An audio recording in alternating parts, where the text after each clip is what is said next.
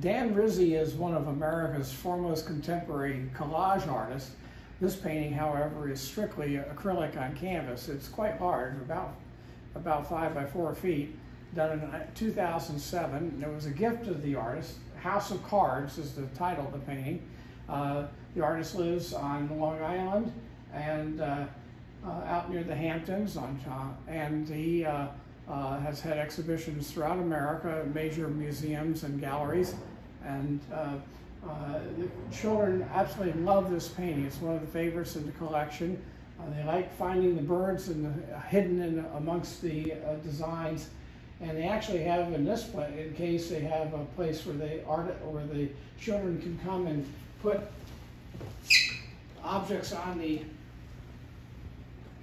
It can becomes a participation painting, so they can add their own collage elements to the painting. This is a gift of the artist, and uh, we're very thankful for him to present this painting to the collection.